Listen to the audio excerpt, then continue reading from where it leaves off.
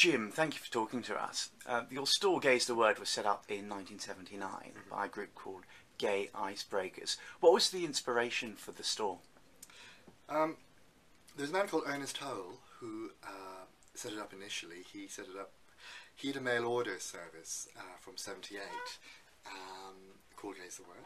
He had been in New York for a period of time and became friends with Craig Rodwell, who set up the Oscar Wilde Memorial. And when he came back to the UK, he was interested in maybe trying the same thing. So he set up a mail order service and used to go around to festivals. And with himself and Peter Dory uh, providing initial backing. Um, and then he got other people involved trying to raise funds, Jonathan Cutbill and Roger Baker, who was a member of CHE. Um, um, uh, Jonathan was a, an icebreaker. Uh, and they looked for premises. And they found these premises in Marchmont Street.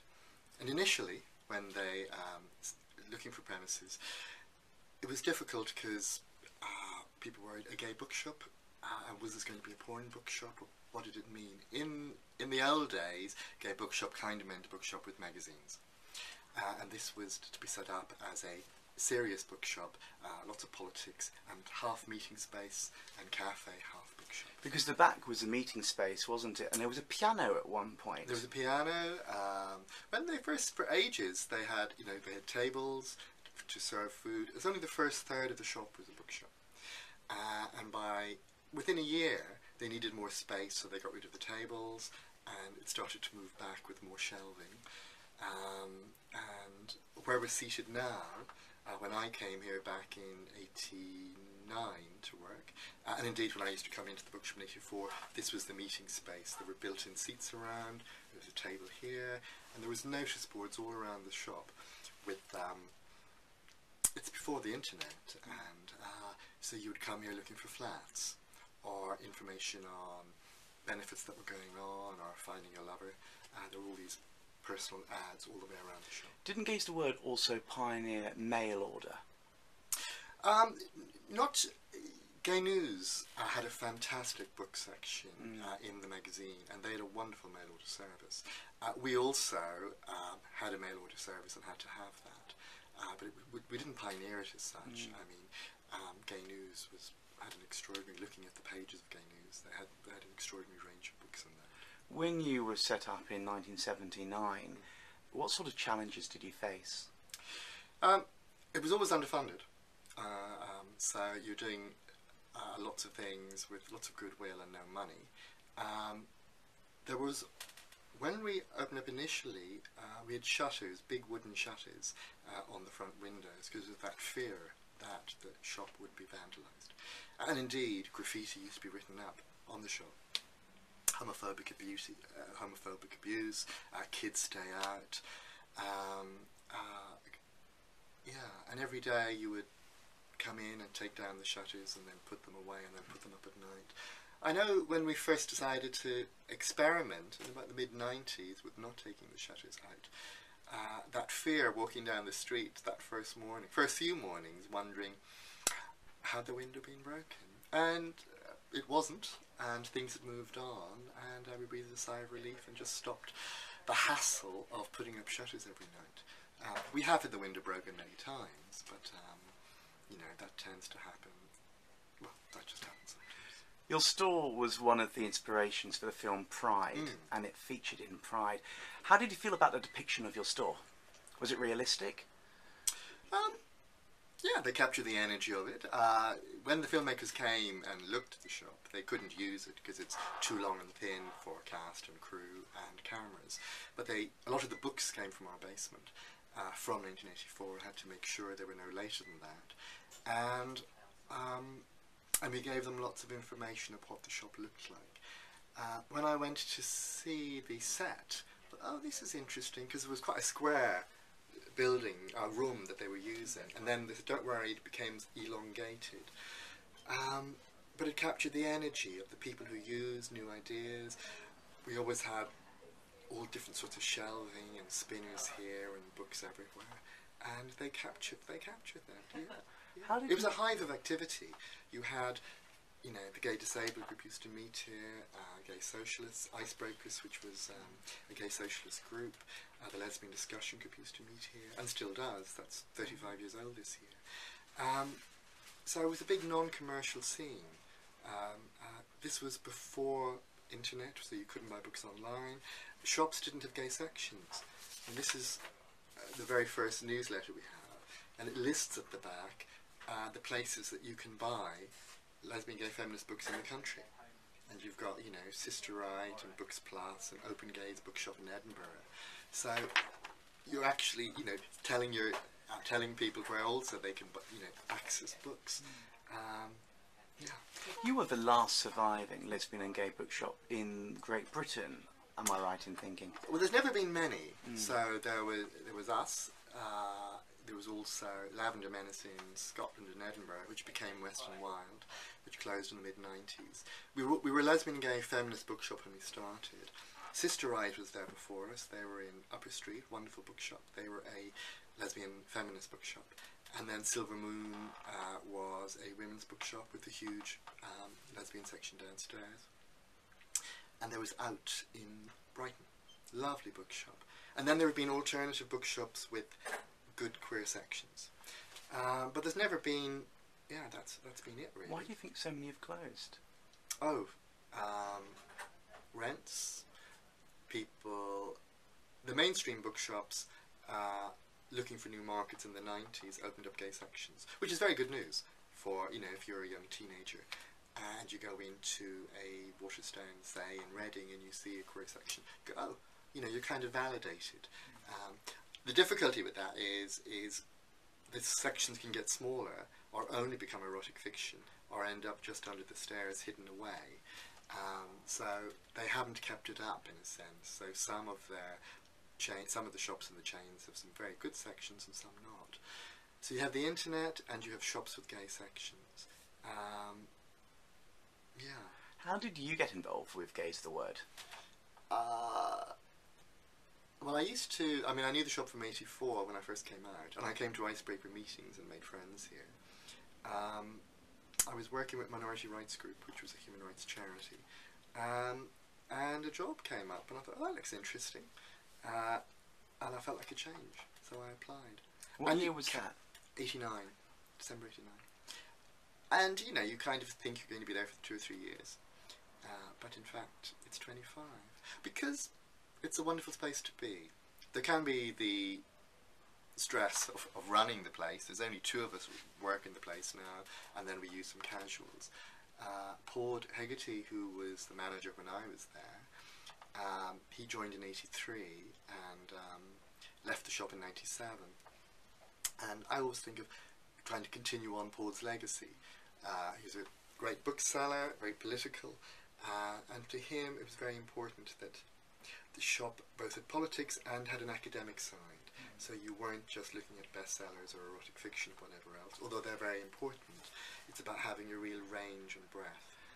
And um, so I always, Paul, Paul died in 2000, uh, and I always just remember him and what he did for the shop and how he grew it, uh, and it continued on. One of the most infamous events here was in 1984. Mm. There was a raid by Customs and Excise. right. What can you tell us about that? It's interesting. Um, I have these are various newsletters at different points. This um, is from February March '84 newsletter. You've got Alan Turing, The Enigma has just been published, and Jenny Lives with Eric and Martin, the kids' book, which um, ra- raised questions in the House of Commons. One of the first kids' books published by Gay Men's Press. And the footnote on five years on, if you can see. Um, Amanda, who is one of the managers at the time, says, In 84, Gays the will be moving premises. Our stock's expanding too quickly to hold us for much longer. We'll be staying in central London. This is February, March. In April, Customs and Excise raided the bookshop, and everything changed. They took thousands of pounds worth of books. There had been other raids on other places like uh, Zipper and other shops that had more magazines and erotic fiction and some and, and some fiction. Um, and they were just assuming it was more an erotic shop. Um, they almost all the American imported stock. It wasn't about books that were published in the UK.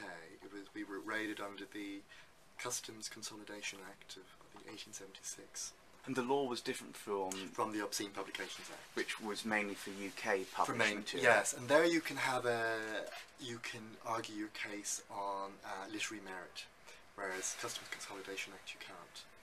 Uh, it's at the whim of the uh, customs officials. So a huge campaign was started to um, keep the shop going. Um, Graham McKerrow, who was one of the editors of Capital Gay, um, took um, leave from there and actually ran the campaign for us. And we're hugely grateful to Graham for all of his work in, in making sure the shop survived. Uh, and he used all of his skills as as a journalist.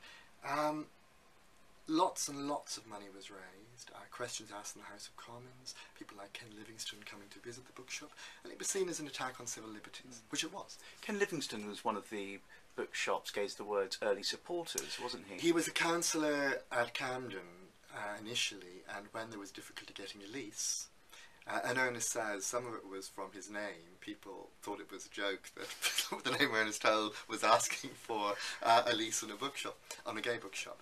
Uh, and he supported um, the, the, the lease being granted, yes. Uh, and then later, of course, he became leader of the GLC, the Greater London Council, and later again he was mayor of London. Since you've been running Gay's the Word, what are some of the biggest changes in terms of customers that you've noticed? Oh, interesting. What I like about working here is the range of customers from 16 to 90. Um, and people come from all over the world. Um, one of the things we have, you know, academics and journalists and people coming in to buy a magazine or just pick up the free papers. It's quite community feel. You know, we do talk to people quite a lot. Um, Trans London meets here, um, and they came about when a um, trans woman was asking about meeting spaces, and I said, "Well, why don't you use the space here? It's free," uh, and it's really grown as as such. Um, and I think it's once a month, and there can be thirty to fifty people come.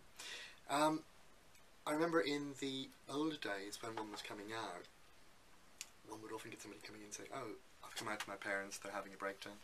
Can you uh, suggest a book?" And these days, I'm often moved when you see parents come in and say, "My 16-year-old son has just come out. Have you got any books for him, like appropriate fiction or books on coming out?" And that shift uh, in acceptance. How has the material that you stocked changed? When we set up initially, uh, there was lots of debates about books that you would stock and not stock. Uh, in one of the those newsletters there, um, John Duncan, the manager at the time, talks about a an ongoing debate with the gay Christian movement about our refusal to stock their literature. Because in the early days, um, we didn't stock books on Christianity or therapy because we felt that these were um, oppressive. And we've moved on a lot. So actually, the shop is for people who happen to be LGBT, and some of those religion is very important. So our religious section is quite big, and we sell lots of it. We also have books on therapy. So we're slightly less pure and dogmatic, I think. My aim is to stock as many books as possible uh, for my customers, and I'm delighted to sell them anything, um, actually. What do you enjoy most about working here? you can i'm constantly uh, inspired by the people who come in uh, and inspired would be the wrong word actually. I can come into the bookshop in a bad mood. Going oh you know life coming down on you. And very quickly on the till just that casual interaction with people who come in um, lifts my spirits. It's like extended family and i love my family. Uh, there's so many nice people. And unlike, say, in other shops where you're service and you may be treated badly, in bookshops for some reason people assume you have a brain and there is uh, yeah, genuine interaction. And you hear people's stories and you talk about books, and I love books, so it's always a pleasure to talk about books. And sometimes people come in, come out. I've had people shake my hand after they've talked. Uh, and it's important to me when a space, London can be both unfriendly and the scene can be threatening and unfriendly and uh, exclusive, uh, that here is an inclusive space uh, and that there's a warm welcome. Which doesn't mean that we have to chat to everyone when they come in. You know, people can come in, buy a book, and leave. That's fine. But people do talk. Occasionally, you get authors come in who do Oh, book readings. Any favourites? Oh. I've not actually run the uh, Uli, my co-worker, who's fantastic and um, has done huge amounts of work here, runs the events now. Um, I can't think of favourites. It's generally a great pleasure to have authors here, and, uh, and the place full. Have a glass of wine, and it just hopefully some of the people who come then come back when the place is quieter. But it really adds to the, the energy of the bookshop. Um, and they're, they're, they're lots of work, but they're great fun. They're great fun. Uh, as long as people come. It's always that worry, like having a party, will people turn up? Um, uh, but our job is, I suppose, to make the author feels as relaxed and comfortable when they arrive, and then read about your book. And this isn't a, a hostile audience wondering, what are you saying here? They're, re- they're ready to engage. You mentioned special. you mentioned earlier that many similar gay and lesbian bookstores have faced challenges such as higher rents. Have you, in recent years? Yes, um, Camden Council, who own the building, um, and we're treated like any other shop, any other business. So every year, every three years, on our on our agreement, we have face rent increases, um, and they've become much more steep in the last few years, and it's very difficult. Um, back in about 2007, we did wonder when the new rent increases came up whether we could afford, to go any longer as a going concern. Um, and we were ready to close at that point. Um, Tim Tiemann, a journalist from The Times, came in, and um, we were talking to him, and we had talked about it at a board meeting. So he put word out um, on the time, uh, published something about the Times in the Times, um, and got together with Uli, my co-worker, who ran the campaign, and we set up a campaign and put it out there about sponsoring shelves, and money started to flood in, and then the BBC picked it up, and the Guardian, and the Independent, and QX, and Gay Times, and word went out from you know Australia and the US, and you're aware of all these people you've affected over the years, and it was really moving. Um, and you know, shelves were you know hundred pounds, and most of the money that came in was from ordinary individuals, but it cleared debts and just gave us money in the bank and allowed us to continue paying the rent.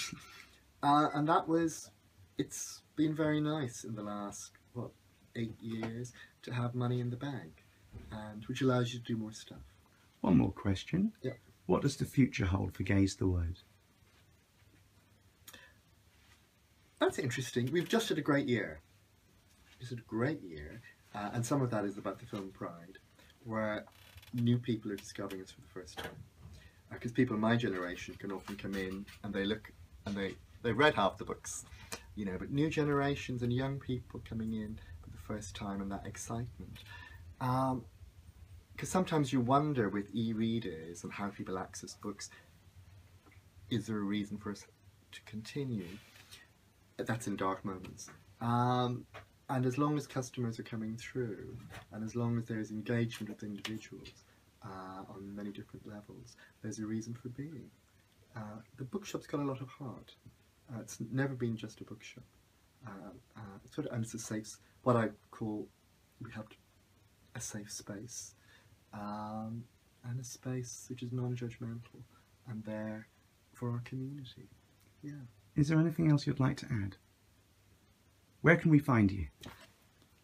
Well. Uh, we're at 66 Marchmont Street uh, in London. Um, nearest tube is Russell Square. It's a two minute walk from Russell Square Tube. Jim McSweeney, thank you very much. Very.